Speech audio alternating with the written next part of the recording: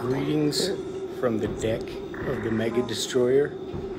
I am again on the Mega Destroyer because I'm in the mood to wreck something that came up. I'm on this site. It's a place decent for leads, and people who are interested in network marketing or MLM. And I write articles on there all the time. And I promoted some different things on there lately, I've just been talking about MLM. Because to me, MLM is exactly the same as affiliate marketing.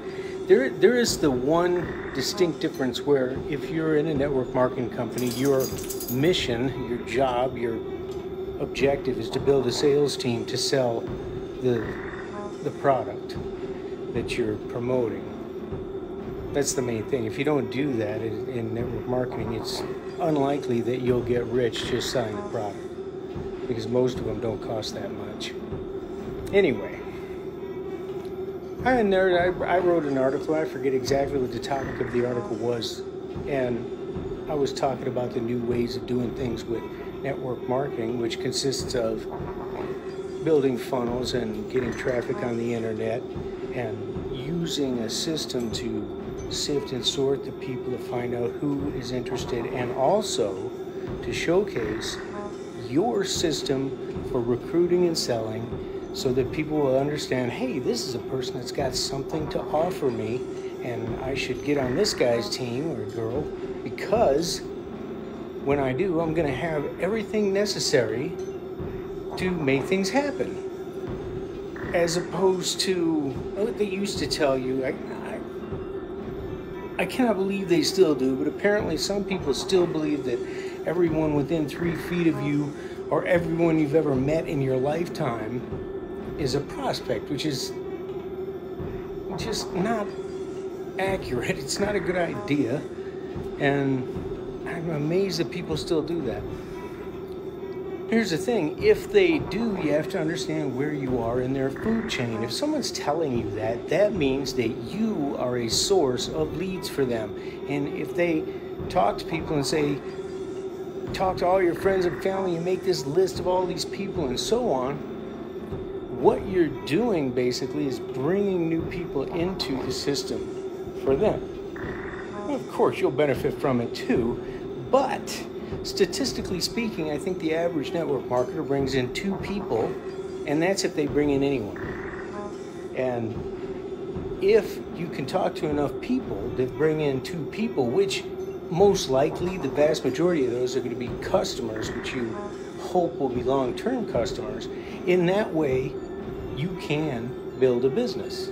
But if you're just starting out, understand that's where you're at. If the guy's telling you, oh, you just tell people to tell their friends and family, um, I, I can't stand here and say it's not going to work because, for all I know, maybe it would. But I don't know anyone, and I've never met anyone that could do that. So I write this article about the new way of doing stuff, and this guy apparently has been successful in network marketing doing the old school ways. He says, Oh, that's a really good article. Uh, unfortunately, I'm old school and I've made X million dollars or whatever it was, and I'd like to teach you. And I'm reading this thing, and I'm thinking to to myself, what, where, where, how, in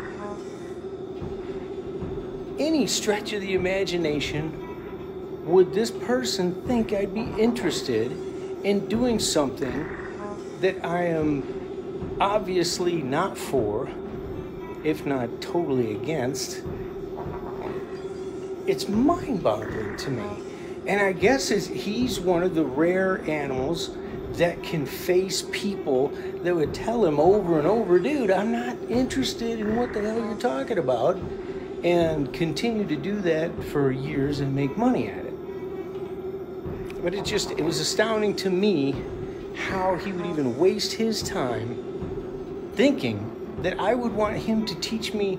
That's like, I don't need someone to teach me how to ride a horse to get downtown to go to, to work because I have a car.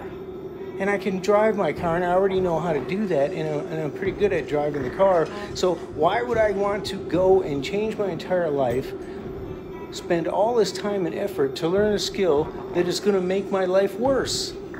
To me, it's the same. That's the way I'm looking at it. So here's the thing: if you're dealing with people that are attempting to tell you you can't do this on the internet, or the company won't let you do this on the internet, or you're going to get shut down by the company that you're promoting, any of these things, but you know, because you've been alive for more than 20 years, you know that this is the way that all commerce is being conducted. It's just going to get more and more.